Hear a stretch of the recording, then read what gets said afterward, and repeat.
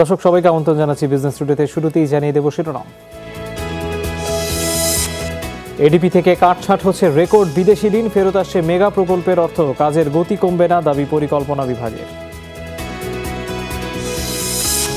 বিলোনিয়া স্থলবন্দরের ভারতীয় সীমায় উন্নয়ন কাজ শুরু হয়নি চার বছরেও, প্রকল্পের বাকি আর কয়েক মাস এখনও আলোচনা চলছে দুই দেশের।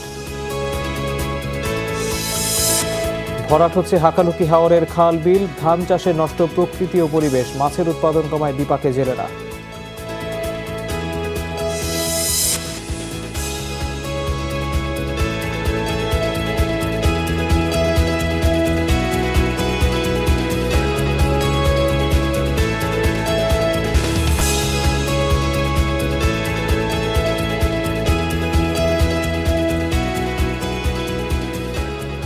এতক্ষণ শিরোনাম দেখছিলেন, এবার পুরো খবরে যাচ্ছি। আপনাদের সাথে আছি আমি তৌহিদ হোসেন। বার্ষিক উন্নয়ন কর্মসূচি বা এডিপি থেকে কাটছাট হচ্ছে রেকর্ড বিদেশি ঋণ। টাকার অঙ্কে যার পরিমাণ প্রায় আঠারো হাজার কোটি। ফেরত আসছে মেগা প্রকল্পের অর্থ। সার্বিক হিসাবে সর্বোচ্চ বরাদ্দ কমছে স্বাস্থ্য খাতে। পরিকল্পনা বিভাগের দাবি, প্রকল্পের উদ্বৃত্ত অর্থ ফেরত আসছে। এর ফলে কাজের গতি কমার শঙ্কা নেই। তবে হঠাৎ বিদেশি অর্থায়ন কমার বিষয়টি ভাবাচ্ছে গবেষকদের। দেখুন আমার করা একটি প্রতিবেদন। সরকারি তহবিল আর বিদেশি ঋণ। বাংলাদেশের উন্নয়ন প্রকল্পে টাকা আসে এই দুই উৎস থেকেই। যদিও প্রতি বছরই এডিপি থেকে বিদেশি বরাদ্দ কমানোর প্রবণতা থাকে, তবে এবার কাটছাটে রেকর্ড হয়েছে। সংশোধিত এডিপি প্রণয়নে কাজ শুরু করেছে পরিকল্পনা কমিশন। এরই মধ্যে কাজ শেষ হয়েছে একশো প্রকল্পের। আগে থেকেই অন্তর্ভুক্ত ছিল সাতশো পঞ্চাশটি। নতুন পরিকল্পনা এসেছে পাঁচশোর বেশি। সংশোধিত প্রস্তাবে সর্বোচ্চ উনিশ ভাগ বরাদ্দ কমছে স্বাস্থ্য খাতে। টাকার অঙ্কে যার পরিমাণ প্রায় তিন হাজার কোটি টাকা। অর্থায়ন কমানো হয়েছে তিন মেগা প্রকল্প থেকে। উদ্বোধনের অপেক্ষায় থাকা পদ্মা সেতু থেকে কমছে এক হাজার কোটি, আটশো কোটি টাকা ফেরত যাচ্ছে মেট্রো রেল থেকে। কাজে লাগাতে না পারায় তিনশো সতেরো কোটি টাকা ফেরত দিচ্ছে বঙ্গবন্ধু টানেল। এখন যেটা উদ্বৃত্ত মনে হয় সেটা অন্যত্র নিয়ে নেওয়া হবে। কারণ কাজ যদি পিছিয়ে পড়তো বা না হতো, তাহলে এত দ্রুত উদ্বোধন সম্ভব হতো না, বিশেষ করে Karnaphuli tunnel. MRT line six এমনকি পদ্মা সেতুর কাজও তো আমরা জুনে এটা উদ্বোধন হবে, আশা করছি। কাজে কাজ পিছিয়ে নেই। বিদেশি ঋণের প্রকল্পে সাধারণত উন্নয়ন সহযোগীদের নিয়ম মানতে হয়। তদারকি করেন পরামর্শকরাও, যা বরাবরই সামলে অভ্যস্ত সরকার। দেরি হয় না কিস্তির অর্থ পরিশোধেও। তাহলে সংশোধিত এডিপিতে বিদেশি সহায়তার আঠারো হাজার কোটি টাকা কেন কমছে? এই সময়টা আমরা বলতে পারি না যে কোভিডের কারণে আমি খরচ করতে পারি না। কিন্তু সেই জায়গাটা একটু খতিয়ে দেখা উচিত। কারণ আমরা যখন বছরব্যাপী যখন পরিকল্পনা করি, তখন কোন সময়, কোন কোয়ার্টারে আমরা কতটুকু খরচ করব, তারও কিন্তু একটা অ্যাকশন প্ল্যান দরকার। তো শিক্ষা খাত স্বাস্থ্য খাত এই খাতগুলোতে কোনোভাবেই কমানো উচিত হবে না। সংশোধিত এডিপি অনুমোদনে জাতীয় অর্থনৈতিক পরিষদ এনইসির সভা বসতে পারে মার্চের প্রথম সপ্তাহে। তৌহিদ হোসেন যমুনা নিউজ ঢাকা।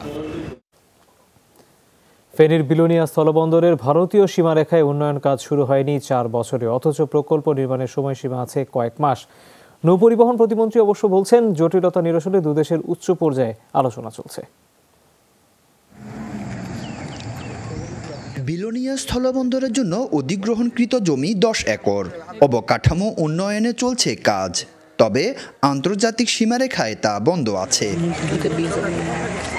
প্রতিবেশী দেশের সাথে আমদানি রপ্তানির সুবিধা বাড়াতে দু হাজার উনিশ সাল থেকে প্রকল্পের কাজ করছে বাংলাদেশ স্থলবন্দর কর্তৃপক্ষ। বরাদ্দ দরা আছে আটত্রিশ কোটি চৌষট্টি লাখ টাকা। জটিলতা তৈরি হয় সীমারেখার কাজ শুরু নিয়ে যা এখনও সুরাহা হয়নি। এতে ব্যাহত বন্দরের কার্যক্রম। ইন্ডিয়ার তাদের কূটনৈতিক এবং নোম্যান্সল্যান্ডের কথা বলে তারা দীর্ঘদিন এই কাজটি আটকে রেখেছে। কাজটা যদি শুরু থেকে যদি সব কিছু ঠিকঠাক করতেন কর্তৃপক্ষ তাহলে এই যে এটা এতদিন এত দীর্ঘ বছর আটকে থাকতো না আর কি? যেটা সুফল পাওয়ার কথা দ্রুত এই সুফল থেকে এই আমাদের এলাকার মানুষ বঞ্চিত হচ্ছে। প্রকল্পের মধ্যে আছে টার্মিনাল ভবন ওয়ার হাউস ওপেন ইয়ার্ড বন্দর অফিস বিশ্রামাগার ব্যারাক মসজিদ ও ডের নির্মাণ। প্রকল্প পরিচালক বলছেন নির্মাণের সময়সীমা আছে আর সাড়ে চার মাস। শুধুমাত্র একশো পঞ্চাশ গজের মধ্যে যে অংশটুকুর আমাদের মূল অফিস ভবন আর একটা মসজিদ আছে আর হচ্ছে ওই দিকের বাউন্ডারি ওয়ালটা এই কাজটুকু এখনও শুরু করা যায়নি আর অন্যান্য কাজ চলমান।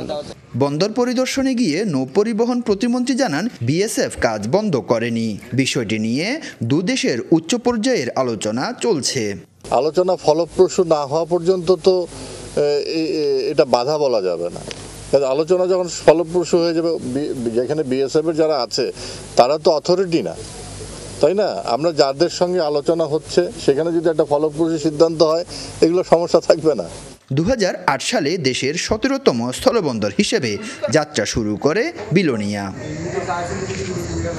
বিলোনিয়া স্থলবন্দরের জন্য দশ একর জমি অধিগ্রহণ করা হয়েছিল। এর মধ্যে এপাশে অবকাঠামো নির্মাণের কাজ চললেও এপাশে রয়েছে এখনও খালি মাঠ। শুধুমাত্র প্রশাসনের কিছু কর্মকর্তার উদাসীনতার কারণে এমনটি হয়েছে বলে দাবি করছেন এখানকার বাসিন্দারা।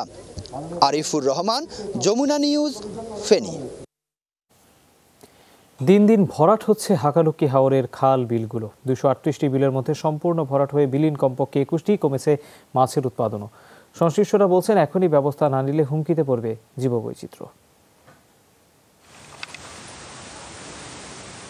জুড়ি উপজেলার তুরলবিল জুড়েই ফসলের আবাদ। বিস্তীর্ণ এলাকা এখন বোরো ধানের দখলে। শুকনো মৌসুমেও হাকালুকি হাওরের সাথে যুক্ত তুরল বিলে থাকতো ছয় থেকে আট ফুট পানি। পাওয়া যেত নানা জাতের ছোট বড় মাছ।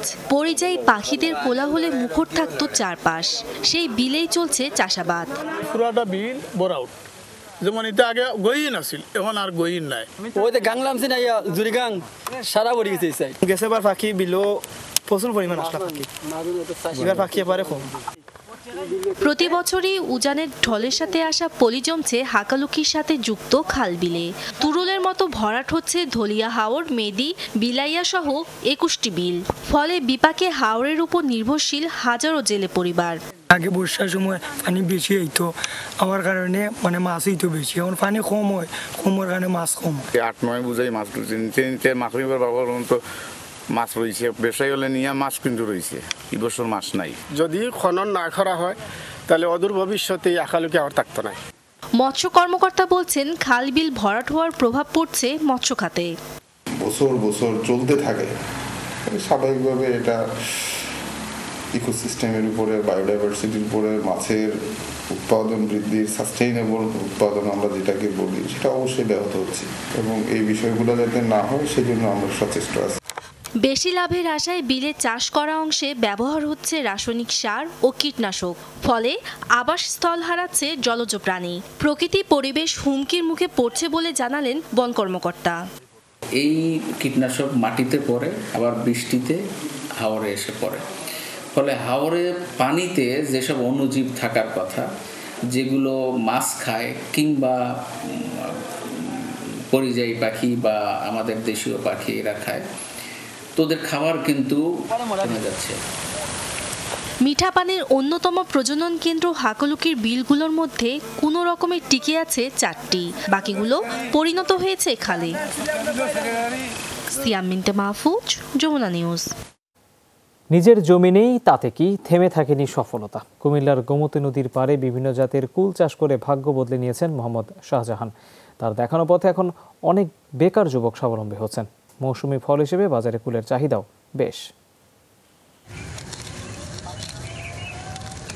বাবার ইচ্ছে, ছেলে যাবে বিদেশ, মিলবে নিশ্চিত জীবন।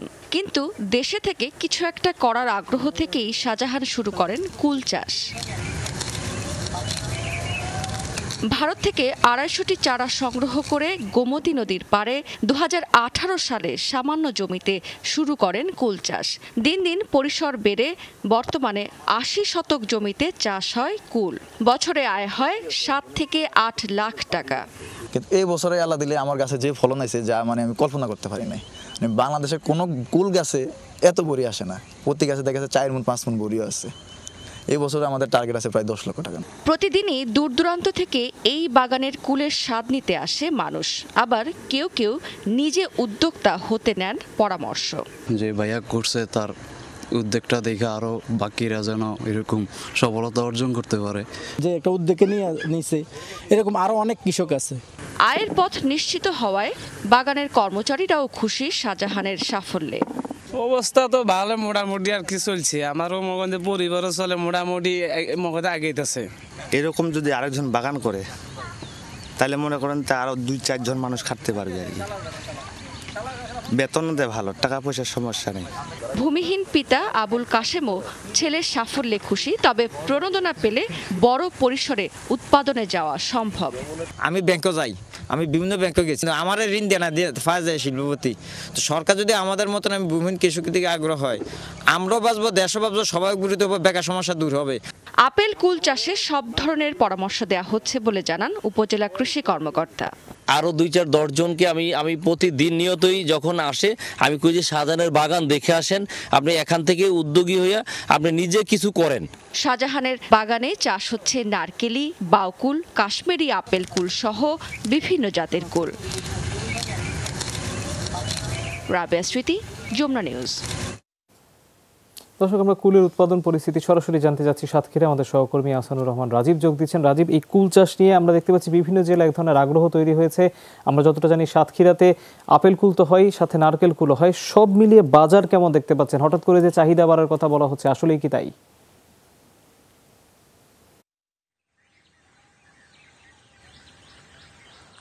তো হচ্ছে সাতক্ষীরায় কিন্তু এবছর ছয়শো নব্বই হেক্টর জমিতে কুলের আবাদ হয়েছে বলে কৃষি বিভাগের তরফ থেকে আমাদেরকে জানানো হয়েছে। এবছর অনুকূল আবহাওয়া থাকায় ফলনও বেশ ভালো। কৃষকরা বলছেন যে মাঝে যখন গাছে ফুল ছিল, সে সময় কয়েকদিনের টানা বৃষ্টিপাতের কারণে কিছু ফুল নষ্ট হয়ে যাওয়ায় ফলন কিছুটা কম হয়েছে। তারপরেও উৎপাদন মোটামুটি তারা বলছেন ভালো এবং গত বছর ছাড়া তারা এবছর কুলের দামও ভালো পাচ্ছেন। এখন এখানে প্রতি কেজি কুল তিরিশ টাকা থেকে চল্লিশ টাকা পাইকারি দরে কিন্তু কুল তারা বিক্রি করতে পারছেন বলে তারা জানিয়েছেন। আর এখানে এখানকার বিশেষ করে নারকেলে কুল এবং আপেল কুল। এটি সবচেয়ে বেশি চাষাবাদ হয়, পাশাপাশি বাউকুল এবং বল সুন্দরী নামে নতুন একটি জাত এসেছে। এই জাতের কুলগুলো কিন্তু চাষাবাদ হচ্ছে। এই কুলগুলো কিন্তু বাজারে প্রচুর চাহিদা এবং সাতক্ষীরার আশপাশের যে বিভাগীয় শহরগুলো রয়েছে, খুলনা এবং যশোর এবং যে বিভাগীয় শহর, ঢাকা শহর, রাজধানী, সব সব এলাকাতেই কিন্তু এই কুলের প্রচুর চাহিদা রয়েছে। এই জন্য দেশের প্রত্যন্ত এলাকা থেকে এই কুলগুলো সাতক্ষীরার যে বাজারগুলো, সেখানে চলে আসে এবং সাতক্ষীরা বাজার থেকে কিন্তু সারা দেশের বাজারে কিন্তু এই কুল ছড়িয়ে যাচ্ছে এবং এখানে প্রায় দশ হাজার বাগান রয়েছে। চাষিরা বলছেন যে তারা এই সমস্ত বাগান করে তারা স্বাবলম্বী হচ্ছেন এবং তারা ভালো দাম পাচ্ছেন কৃষকদেরকে আগ্রহ কিন্তু বাড়ছে দিন দিন কুল চাষের প্রতি। এখানে অনেকে নার্সারি মালিক রয়েছেন, তারা কুলের চারা উৎপাদন করছেন এবং দেশের বিভিন্ন জেলায় জেলায় কিন্তু এই সমস্ত কুলের চারা তারা বিক্রিও করছেন। সব মিলিয়ে বলা যায় এই কুল এবং কুলের যে গাছ, সব মিলিয়ে এই অঞ্চলের প্রতিটি ঘেরেও কিন্তু এখন এই কুলের ঘেরের যে বেড়িবাদ রয়েছে, সেই বেড়িবাদগুলোতে কিন্তু কুলের চাষ হচ্ছে। এই কুলকে কেন্দ্র করে এখানে নতুন একটি ফসলের সম্ভাবনা এবং এই কুলকে কেন্দ্র করে কিন্তু জেলায় নতুন অর্থনৈতিক একটি বিরাট অর্থনীতি যে স্বাবলম্বী অর্থনৈতিকভাবে স্বাবলম্বী কৃষকরা সেটি কিন্তু তারা হচ্ছেন। তহিদ রাজীব, ধন্যবাদ আপনাকে। আপনি বেশ কিছু তথ্য জানালেন। দর্শক, আমরা জানছিলাম সাতক্ষীরা থেকে কুল আবাদের পরিস্থিতি। জয়পুরহাটে দিনব্যাপী প্রাণী সম্পদ মেলা চলছে। এই বিষয়ে আরও জানতে আমরা সরাসরি যাচ্ছি আমাদের সহকর্মী আব্দুল আলিমের কাছে। আলিম, মেলায় কি ধরনের আয়োজন রয়েছে? আর এই প্রাণী সম্পদ মেলা আমরা দেখতে পাচ্ছি কয়েক বছর ধরে আয়োজন করা হচ্ছে। এটি আসলে কতটা সফল হয়েছে বলে দেখা যাচ্ছে? কি বলছেন আয়োজকরা?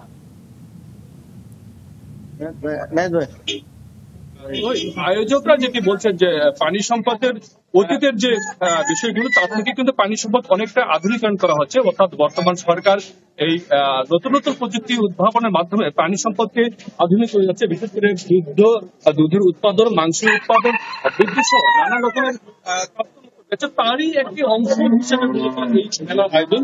আমরা কিন্তু মেলাটাকে যেটা দেখতে পাচ্ছি অনেকটা বলতে গেলে যে সফল একটা আয়োজন বলা যাচ্ছে কারণ এখানে বিভিন্ন ধরনের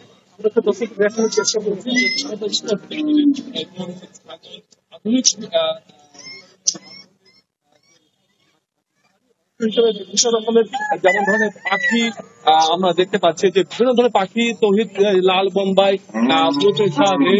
কবুতর, ঘুঘু, ময়না, টিয়া ইথি তারপরে রয়েছে হাঁস, মুরগি রয়েছে ডিম, দুগ্ধজাত নানান রকমের পণ্য। আমরা একটু দর্শকদের দেখানোর চেষ্টা করছি। মেলায় যে ধরনের গরু গুলো উঠেছে, যে আপনারা দেখতে পাচ্ছেন আপনাদের মাধ্যমে দেখানোর চেষ্টা করতেছি আমাদের যমুনা টিভির দর্শকদেরকে। বিভিন্ন রকমের গরু কিন্তু আমরা দেখতে পাচ্ছি বিশেষ করে গাবি সার এবং সার এবং আমরা একটু আয়োজকের সাথে একটু কথা বলতে চাই যে তিনি আসলে কেন আয়োজন করছেন, আয়োজকটার আয়োজনের মধ্যে আসলে এই মেলার আয়োজনের মধ্যে কি সফলতা দেখছেন আপনি? বর্তমান সরকার মাননীয় প্রধানমন্ত্রী পানি সম্পদকে আধুনিকায়ন করার লক্ষ্যে বিভিন্ন ধরনের কাজ করে যাচ্ছে তারই ধারাবাহিকতায় আজকে উপজেলা পানি সম্পদ দপ্তর এবং ভেটেরিনারি হাসপাতাল আকিলপুর জয়পুরহাট একটা সফল পানি সম্পদ প্রদর্শনী আয়োজন করা হয়েছে। এখানে বিশেষ করে পানি সম্পদের উৎপাদন বৃদ্ধি এবং প্রাণী পণ্যের যে বাজার সৃষ্টি করুন, নিরাপদ পানি আমি জনগণের দূর করার পৌঁছে দেওয়ার উদ্দেশ্যে আজকের এই মেলার আয়োজন। শুনছিলেন তহিদ আসলে পানি সম্পদের যে নানান রকমের উদ্যোগগুলো রয়েছে, সেই উদ্যোগগুলো জনগণের সাধারণ জনগণের মাঝে ছড়িয়ে ছিটে দেওয়ার জন্য এবং আরও প্রসার করার জন্য আজকের মেলার আয়োজন। বলতে গেলে অনেকটাই সফল মেলার যে জনতা দেখে আমরা বুঝতে পারছি যে মেলাটা অনেক সফল হয়েছে। তহিদ ধন্যবাদ আপনাকে, আলিম। আমরা জানছিলাম প্রাণী সম্পদ মেলার খবর জয়পুরহাট থেকে। দর্শক, জাতীয় রাজস্ব বোর্ড, এনবিআর আয়োজিত প্রাক বাজেট আলোচনা চলছে। সেখানে অংশ নিয়েছেন বিভিন্ন পর্যায়ের ব্যবসায়ী নেতারা। আমরা আপনাদের সরাসরি নিয়ে যাচ্ছি সে আয়োজনে।